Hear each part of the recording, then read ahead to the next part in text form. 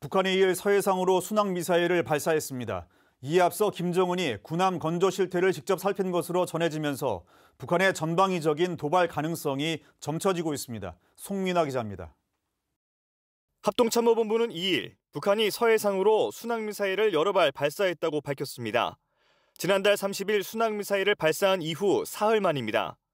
합참은 2일 오전 11시쯤 북측 서해상으로 발사한 순항미사일 여러 발을 포착했으며 한미 정보당국이 정밀 분석 중이라고 설명했습니다.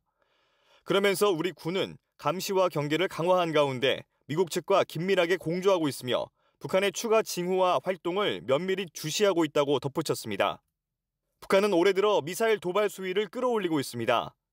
지난달 24일에는 신형 전략 순항 미사일인 불화살 3-31 여러 발을 발사했고 28일에는 불화살 3-31 두 발을 발사했습니다. 이어 사흘 전인 지난달 30일에는 서해상으로 화살 2형을 쏘아 올렸습니다. 북한이 해상 전력을 통한 압박 수위를 높이려는 정황도 포착됐습니다. 북한 조선중앙통신은 2일 김정은이 남포조선소를 방문해 군함 건조 실태를 살펴봤다고 보도했습니다. 이에 따르면 김정은은 남포조선소에서 북한 해상 주권을 보위하고 전쟁 준비를 다그치는 데서 해군 무력 강화가 제일 중차대한 문제라고 주장했습니다.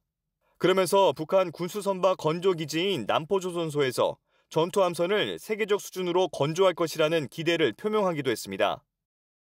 이와 관련해 남포조선소에서도 핵 잠수함을 건조하기 위한 물밑 작업에 나선 것 아니냐는 추측도 나오는 가운데 북한의 도발 위협은 점점 더 속도를 높이고 있습니다. 국방뉴스 송민아입니다.